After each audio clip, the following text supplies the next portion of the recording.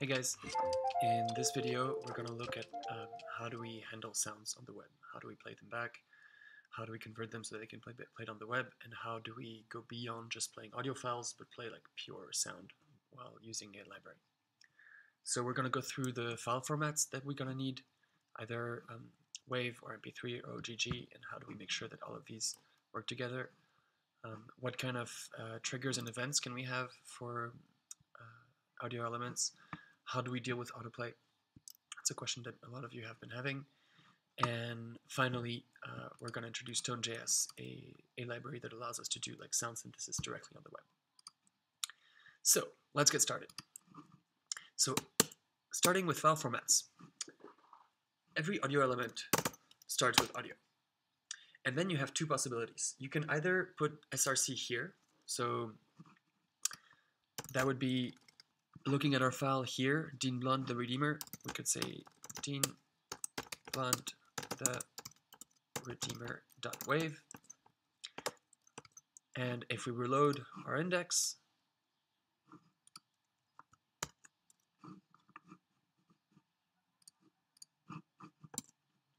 we don't see anything. We don't see anything because we don't have controls. So we have to show controls. We go back, we refresh, and now we have our audio element. Everything plays great. The issue is that our WAV file is actually 30 megabytes we might not want to ask every single visitor to download 30 megabytes of data just to hear snippets of sound. Um, so to do that, we're going to need to have to convert it to another format. Multiple ways you can convert something. Uh, my favorite is to use VLC. So if you open VLC and then you go to File, Convert, Stream, you can open um, the file you want to convert. You choose the profile that you want. We're going to use MP3 right now, and the destination. And I'm going to make sure that I'm in the correct folder. Yep, CommLab 9, Dean Blunt, the Redeemer dot mp3. And I save it. It goes through the file. And so now we get our file that's recorded here as an mp3 file. So we're going to replace the extension here, and we're going to reload Still works. Amazing. Cool. But so now the problem is that sometimes uh, some file formats might not be supported by all browsers. So how do we actually handle that? We handle that by adding another tag on line 9 here called source. Um, and source accepts an SRC, so the same thing as this guy, which we're going to put here. And we can remove this guy here. And a type. And in this case, we're going to say audio MPEG because the MP in MP3 stands for MPEG. If for some reason someone is using Linux and doesn't want to use a, a, proprietary file format, they don't want to use MP3, we have other file formats that are as good, if not better, than MP3. One of those is called OGG. So we're going to convert our WAV file again to an OGG file format. I'm going to select Vorbis OGG here, and then browse, go to commlab 9 and call it Blunt uh, save. And again, you see that I am um, converting from the WAV file, which has a higher sound quality, than converting from the MP3 to the OGG. You want to, you always want to start from the highest sound quality and go down from there. And in the meantime, while it's converting, I'm going to add a new line. So I'm going to copy all of this and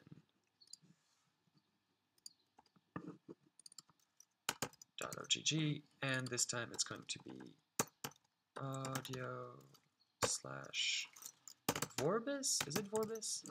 Hmm. Let's see. Um, type audio OGG element.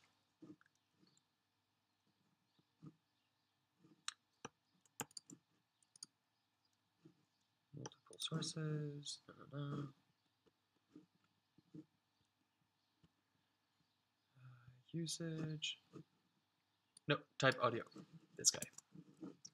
So we're going to do uh, type OGG rather. So now we have our two files that are loaded. If MP3 doesn't work, we're going to fall back to OGG. Let's check.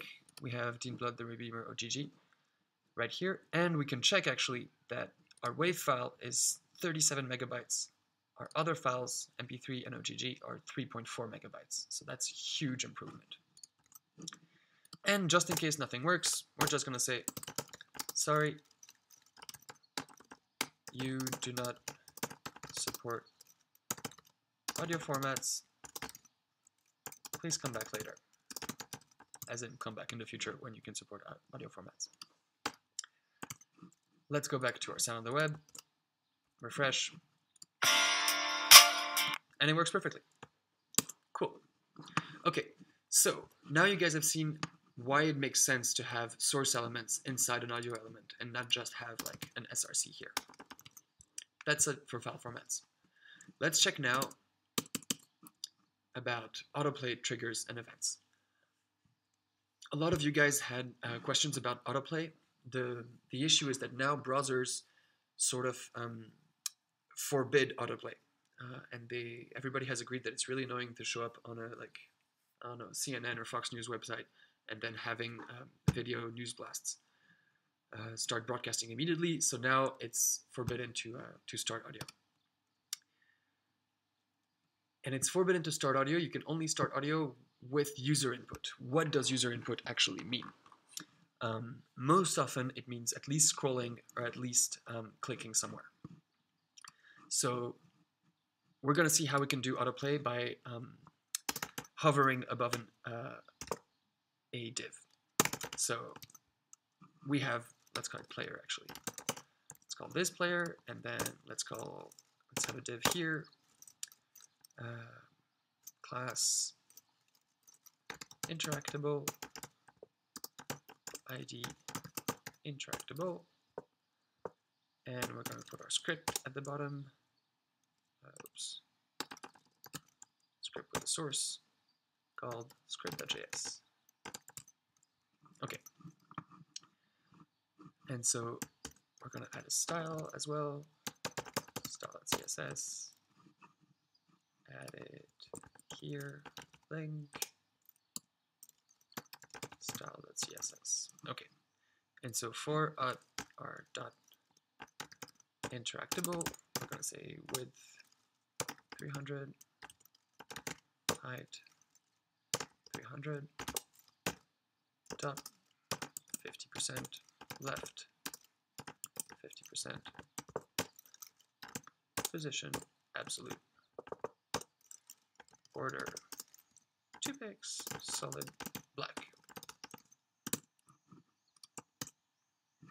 Cool, that's our div. Um, let's center it actually. Let's do it properly. So 10%, 10%, and we're going to put this at 45, 45. Cool, okay. In order to get rid of audio element, what do we do? We remove the controls part. Cool, so now we just have this guy. And what we want to happen is to have music play when we interact with this, right? So the first thing would be let interactable equals document dot get element by ID. Oops.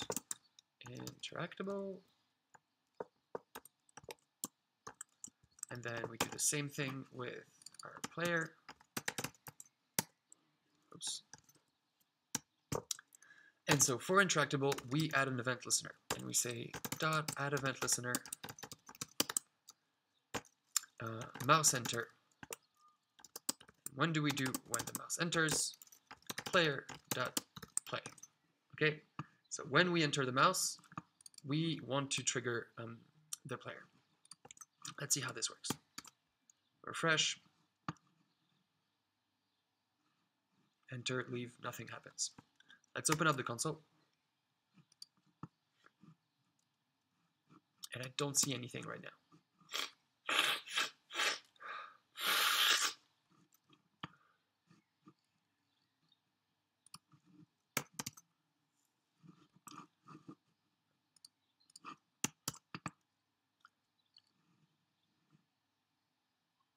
Nothing happens. Let's open up the console. And yep, this is the error that we have to deal with. The play method is not allowed by the user agent or the platform, blah, blah, possibly because the user denied that permission. And you can see here that at this point, um, there's no autoplay that's allowed. Let's see what happens when we click on it. Oh, it worked right now. So why did it work? Because I interacted with the page. So if I just refresh and I go there, it's not happy. If I refresh, I click anywhere on the site, I enter, then it's happy. Okay.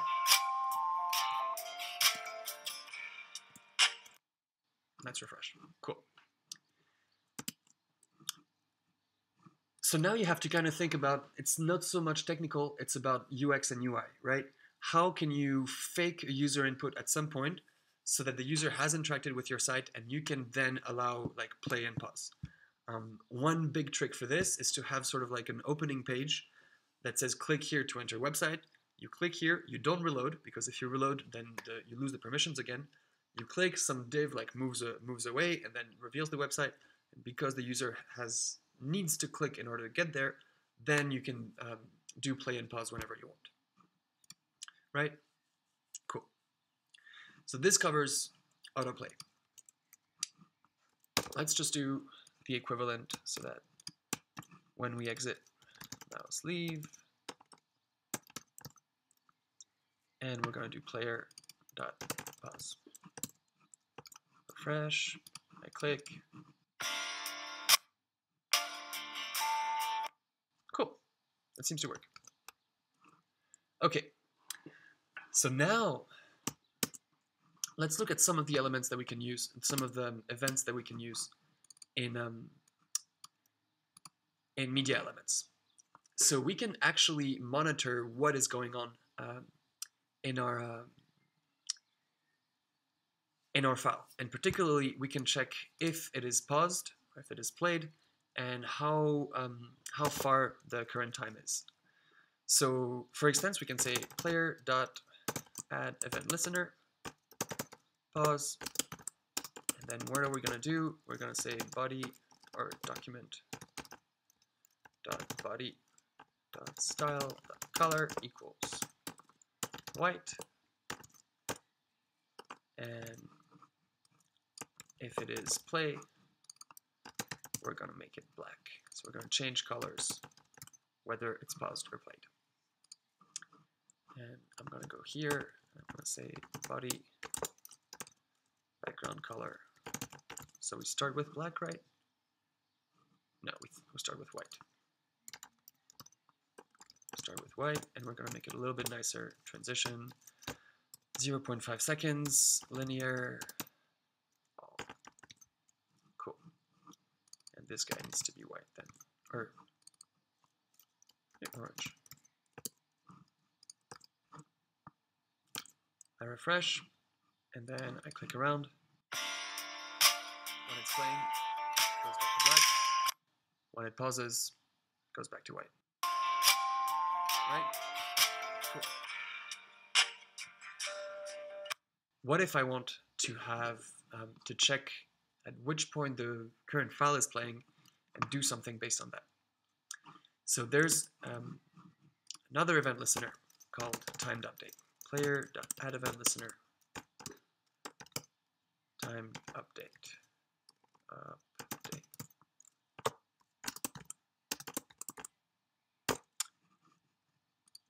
Oops. And now we can just say every time, so this is fired every time, um, essentially every moment the time changes, uh, the playback time changes on the media element.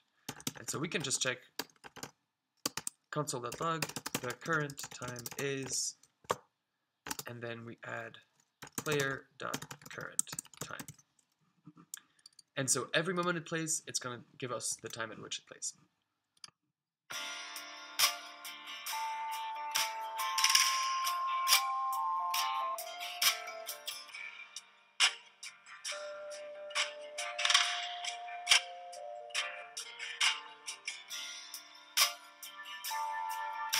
So you can see how now that we have we have the uh, now that we have those numbers, um, we can decide on things that happen at particular moments in the track. Uh, so let's say after five seconds, I actually want to like um, change the border radius of the, of our cube of our uh, square. So I can say, well, if player dot current time is greater than, let's say, what, five seconds? Let's do five. Um, then we're going to say interactable dot style dot border radius equals 30 pixels. And again, to make it nice, we're going to add a transition. One second, linear. Let's play it again.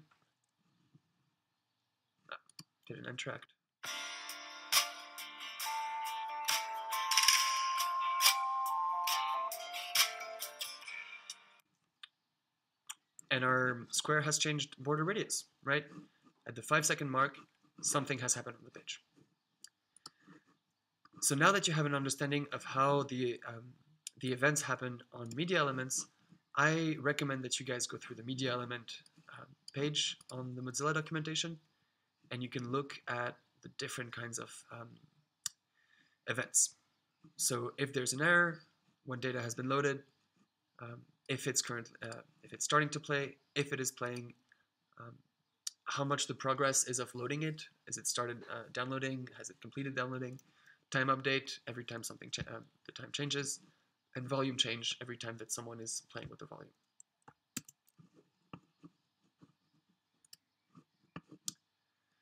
So now for the last part. So now for the last part, we're going to go through Tone.js. So Tone.js is a library that allows you to do audio synthesis directly on the web. What I mean by that is that you don't actually need to have any sort of um, samples or actual sound files, even though you can use those with Tone, but you can also generate things, um, uh, generate sound just through math, essentially, right? Um, and so let's see how this works. We're going to start with the fact that we have our tone downloaded here and we're going to link it to our file. So I'm going to say script source tone.js, oops, tone.js. Um, and now we're going to create um, one new instrument, and then when we hit different keys, we're going to play different notes on that instrument. Okay, so we're going to say let synth synthesizer equals new tone dot synth dot to master. So tone has this sort of like very sound engineering uh, metaphor in which you, the same way that sound engineers plug cables into machines, which then plug cables into other machines and so on and so forth, um, Tone has the same thing. So you have like a synthesizer or a piano, and then you plug it into directly the master, so directly the loudspeakers. Or you could plug it into a reverb effect, or you could plug it into another like bus in which you can control multiple uh, instruments at the same time. So if you have any familiarity with sound engineering, Tone um, uh, copies those metaphors very well. And then we can just um, call the function trigger attack release with the particular note we want and, um, and the length. And so what we're going to do is that we're going to say document uh, dot body dot add event listener. And every time we hit a key, so key pressed with the event, first we're going to look at which key is pressed. So console.log event. I'm going to open this up again, refresh. Okay, and so now I press W, E, R. You can see that can be like lowercase w, lowercase e, lowercase r. And so if I say something like if event key equals equals W, else if, oops, event dot key equals equals E, and else if event dot key equals equals R. And so now what I'm going to do is I'm going to play the synth. So I'm going to say, hey, if you play the W, then trigger attack release. And let's say I don't know anything about music. Um, C1 for an eighth of a note. Let's do a quarter of a note. And then the second one is going to be C3 for a quarter of a note. And the last one is going to be C5. Let's see how this sounds. I'm going to refresh, and I press W, boom, beam, beam. This was maybe a little bit low, so let's do, this one will be 3, this one will be 4, and this one will be 5. I refresh again, and then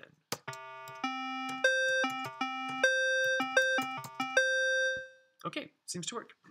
And if we want to make it a little bit more interesting, we can just also add document dot body dot style dot background color equals orange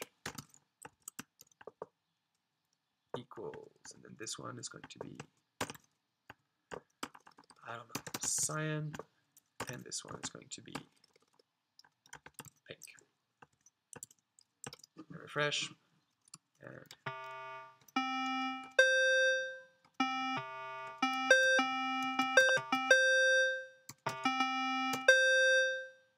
we go. And then you have a web-based instrument with a sample in the middle. So you could theoretically improvise on top of it. I will let you guys explore the rest of the Tone.js library. You can do a lot of things with it. You have great examples, um, great demos. But in general, if you're trying to think, if you want to look into how you can develop um, instruments or actually do music or do sound engineering on the web, Tone is a really amazing place to start. So this is what we've, looked at. We've looked at Tone to generate pure music. We've looked at the different kinds of events and uh, triggers and autoplay that you can have with media elements. We've looked at which kind of file formats you could insert on the web and how you should organize them in the source tags. And that's it for the intro to sound on the web.